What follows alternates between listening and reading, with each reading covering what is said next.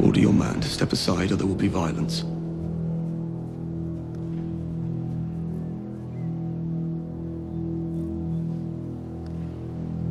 I choose violence.